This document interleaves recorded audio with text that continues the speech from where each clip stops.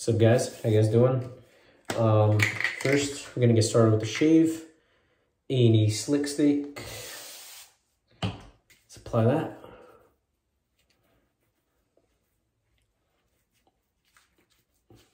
haven't used this stuff in a while, so I thought I'd give it another go. We're working on like 24 hours of growth. Yeah, something like that. All right, that should be enough. It's actually more than enough. But today, I'm using a new brush, if you've read the title, and a little extra lathering ain't too bad. ain't too bad of an idea when you're uh, trying out a new brush.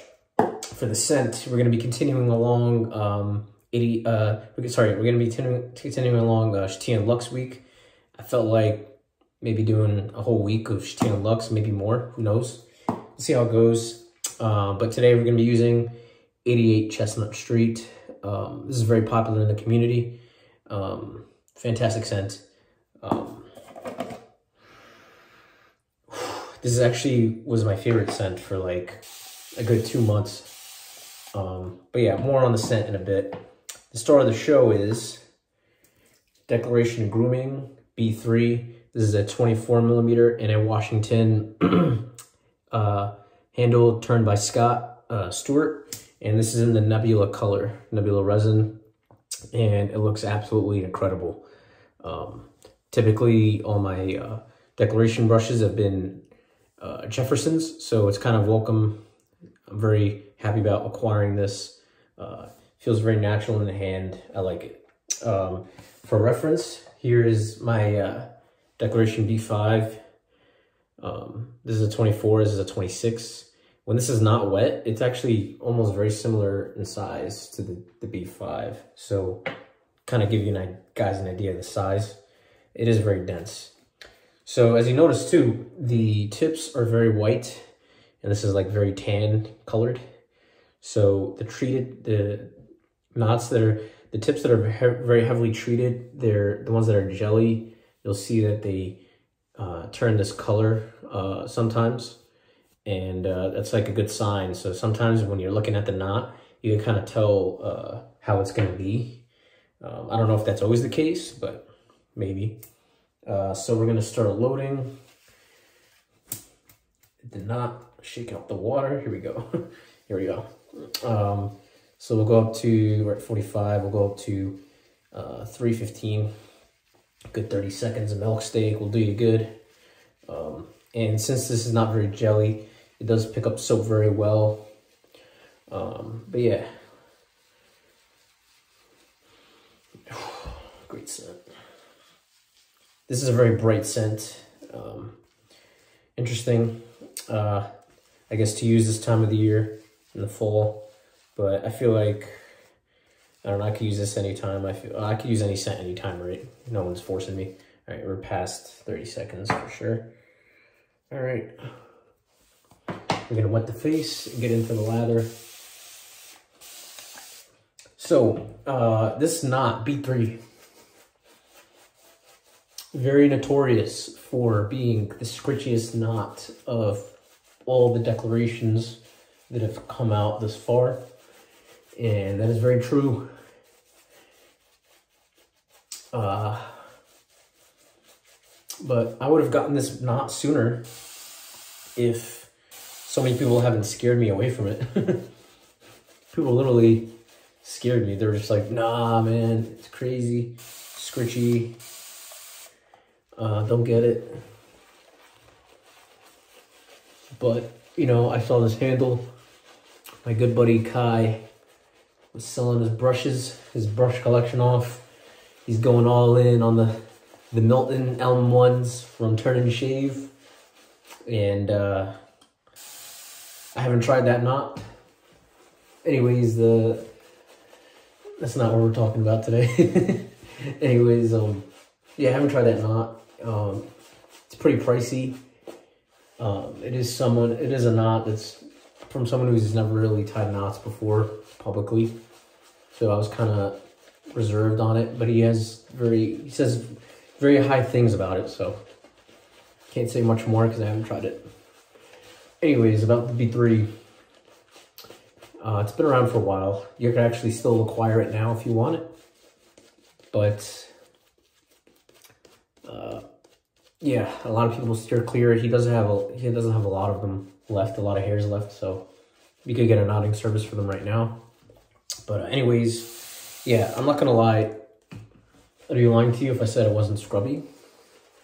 But people were making it out to be like crazy, scritchy, hurts your face. Um, yeah, so you definitely get the scrub. This is, I mean, if you're someone who shaves every day, I probably wouldn't recommend this brush to you. But if you shave like every other day, this might be a great brush option, you know? I would say so. Yeah, but what I'm basically trying to say is y'all are soft, man. um, cause I've, I've tried both jelly knots and I've tried scrubby knots like you see here and I could appreciate them both, I'd say. Um, my preference is literally in between. I like a balance. That's why the B7's probably still my favorite knot. Uh, but anyways, yeah, it's not that bad, you know? And if you if you don't push down as hard, you don't feel as much scrub. If you push down more, you get more scrub. You kind of adjust the scrubbiness almost on this knot. But I'm really enjoying it. It feels like you're exfoliating and massaging your face. Um, if you have really sensitive skin and uh, like I don't know, it's it's not it's not like a boar. Like a boar to me is scritchy. An unbroken in boar, way worse than this. But at the same time, you do definitely feel the scrub. If you don't like scrubs, scrubby knots, maybe steer clear, but I guess I can understand why everyone's searching after that luxury feeling, luxury vibe. But anyways, yeah, that's my initial thoughts on the B3. This is like my second time lathering it. I did do a test lather earlier off camera. So I wanted to get an idea going into the shave of what it performed like. Just get my towel. All right, cool. For the razor, what razor am I using today? Oh, I forgot. Let me pull out something. um, today we're gonna go with, yeah, why not use this? Wolfman WR2. This is quickly becoming my GOAT. Uh, this and the SE paradigm are pretty much tied. This is my GOAT DE right now. And might as well find out what blades in here. Uh, oh, we got an Astra. It's probably second use. All right, let's get to it. Oh yeah, we're trying holding the razor with two fingers. I'm gonna try that method.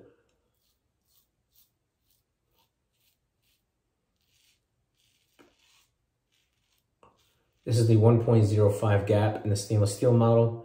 It does also exist in aluminum and titanium, which are very hard to get.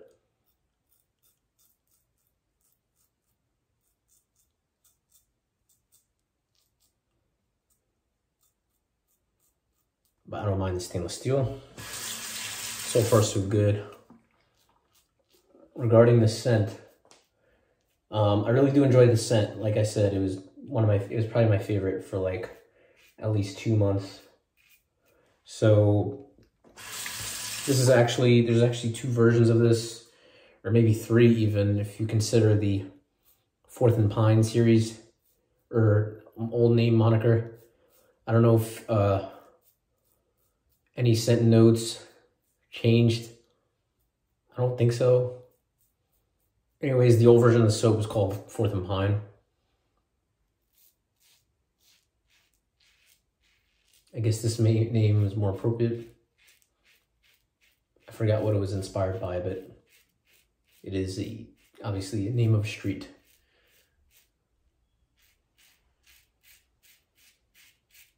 But uh, when I smell this soap or fragrance, I get an explosion of citrus. And quickly I'm followed by the neroli um, and the reason why I get an explosion of citrus, I think there's like four or five citruses in it. So it has something to do with it. That's what makes it so bright. Um, yeah, so if you like citrus, this is the scent for you. All right, hold on, let me finish the first pass. and we'll get more into the scent notes. All right, cool. So far, so good. Yeah, but uh, so far I'm liking this brush, man. I thought I was gonna have to move it off or something. I don't know. I like it.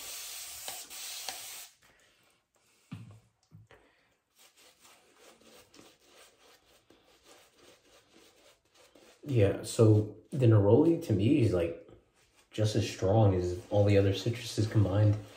Um, maybe just a little bit less. It depends actually. I find on the Eau de Cologne, the neroli is a lot more forward, whereas the soap and the aftershave, it's more citrus forward.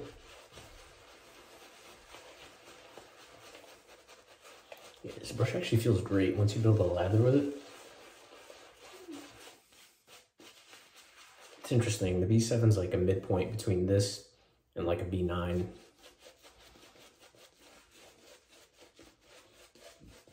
It's cool to have different brushes on the opposite sides of the spectrum. But yeah.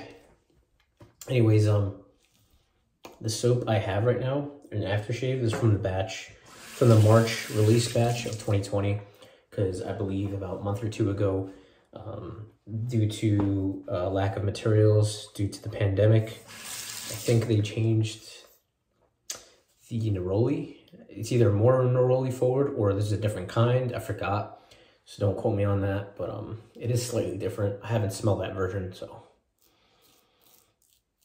if you have bought, if you buy a current version, it might smell different or very, or it might smell similar. I don't know. It is the same scent notes, so.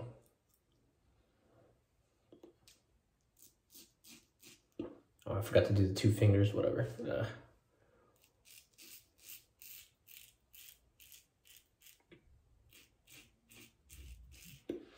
this razor is so efficient and smooth at the same time.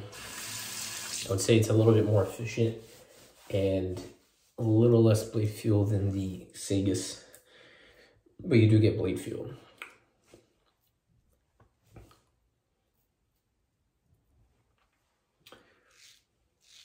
Anyways.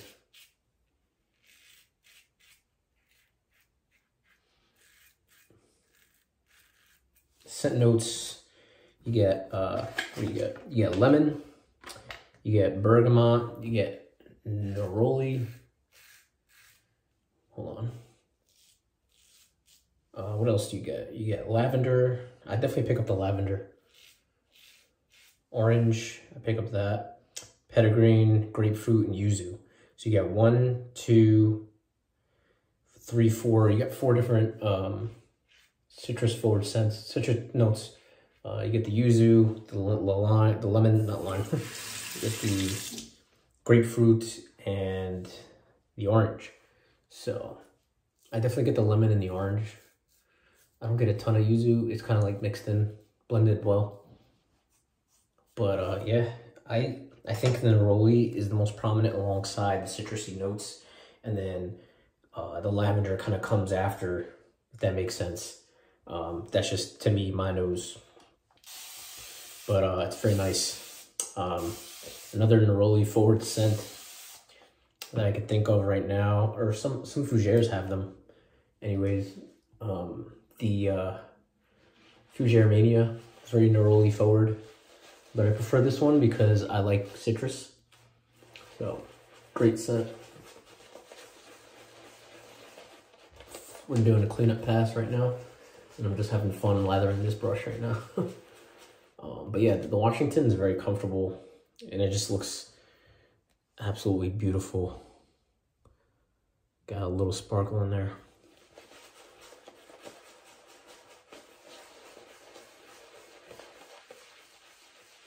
I mean, I can understand why people are after luxurious knots. They want that luxury feel, that cloud.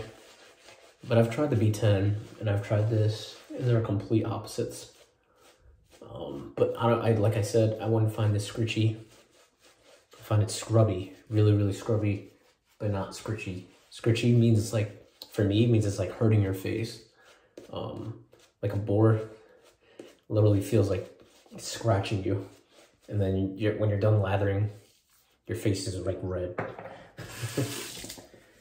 Anyways.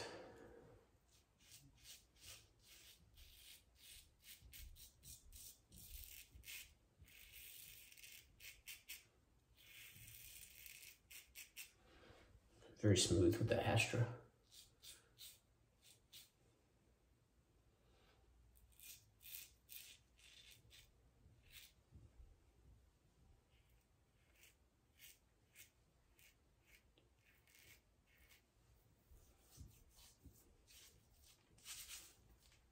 Let's see.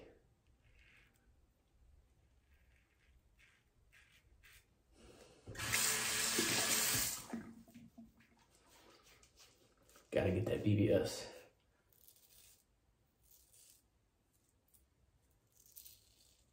Yeah, I find I really don't have to do any real buffing with this razor as much. I can't imagine the 1.25 gap. It might feel a little bit too aggressive for my liking, but this is just right.